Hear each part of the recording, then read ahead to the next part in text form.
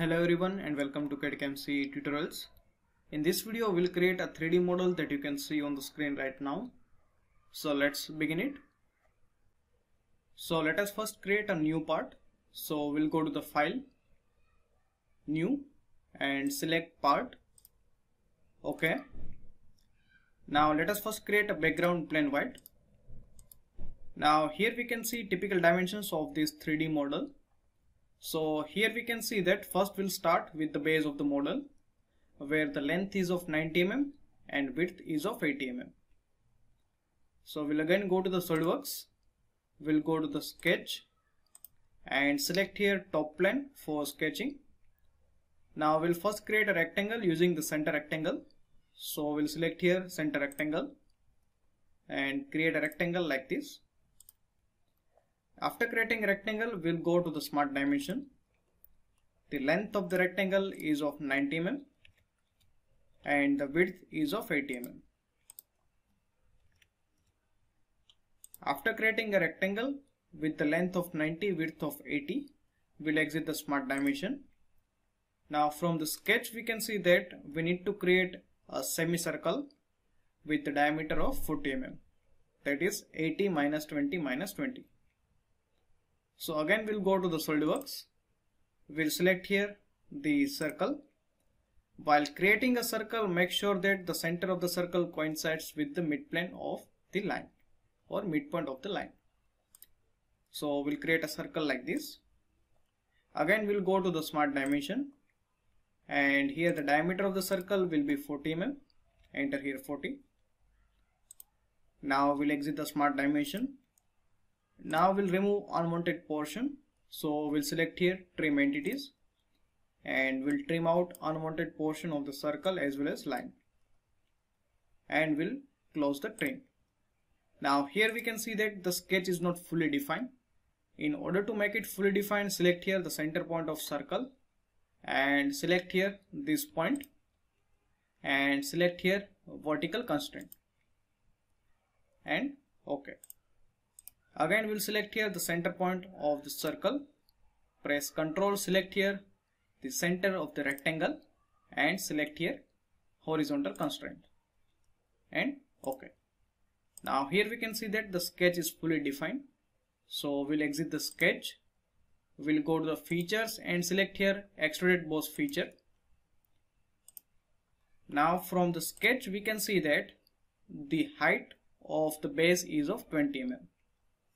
So here we'll enter as a 20 mm and OK. After creating the base of the part, we'll create the top portion of the part. And for that let us first create this portion, this L portion. And for that here we can see that the width or let's say thickness of the vertical portion is of 20 mm and the thickness of this horizontal portion it will be 60 minus 50 so again we'll go to the SolidWorks and we'll go for the sketch. Now before going to the sketch here we can say that this wall is at a distance of 90 minus 60 that is 30 mm from this wall. So first we need to create a plane at a distance of 30 mm from this face and then we can create a sketch. So we'll go to the SolidWorks, we'll go to the features and select here the reference geometry and plane. Now we need to create a plane from this face at a distance of 30 mm. So select this face as a reference. Now we need to create a plane on another side of this face. So we'll select here flip offset and at a distance of 30 mm. And ok after creating this plane we'll go for the sketch. And we'll select that plane as a sketching plane. And select normal. Now here we need to create that L portion. For that we'll be using the line. So select here line. We'll start from this corner. So we'll first create a vertical line then a horizontal segment again a vertical segment and a horizontal segment up to here. Then here we'll select the corner point and then we'll close the L shape. After creating this L shape select here this line and give it a vertical constraint. After creating this portion we need to give it the dimensions. So here we can see that this vertical one will be 50 plus 10 that will be 60 so this is 60 and here thickness is 20 and 10 so we'll go to the smart dimension. Now here this height is of 60 mm. This will be of 20 mm. And this height will be of 10 mm now we'll exit the smart dimension and we'll exit the sketch. Now we'll go to the features and select here extruded boss feature. Now we want to extrude it on the another side of the sketching plane. So we'll select here reverse the direction. And from this drop down we'll select here up to the surface and we'll select this surface as a stopping plane or stopping surface. And ok now after creating this L portion we need to create a cut that we can see over here because this surface is not a slant face. So we need to create a cut. Now for this cut we first need to create a plane. And for that let's go to the SolidWorks and we'll go for the sketch. And we'll select here this face. Normal. Now here we need to create a sketch. And for that we'll select here the line.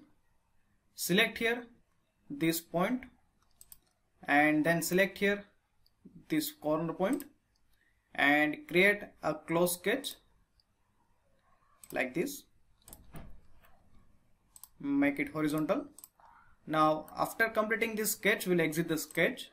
We'll go to the features and select here extrude cut feature. And from this drop down we'll select here through all both and okay. Now here we can see that we have created this slant portion. Now after creating this slant portion the main challenge is to create here this tetrahedron. And that's an interesting part. So for that let us again go to the SolidWorks. We'll go to the sketch. And we'll select here this surface for sketching. Select here normal now here basically we'll create a sketch and for that from here we can see that the total length basically this length will be of 60 minus 40 so that will be 20 so here first we'll create a line of 20 mm and we'll make a slant line and this point will be at a distance of 20 mm. So we'll go to the SolidWorks. We'll select here the line. We'll start from this point. We'll create one vertical line, then a horizontal line, then we'll create a slant line and one horizontal line. Now we know that the, both the distances are of 20 mm from the respective faces so again we'll go to the smart dimension. The distance of this point from this line is of 20 mm and the distance of this line is of 20 mm. Now here we can see that the sketch is fully defined. So we'll exit the sketch. Now this is the first sketch.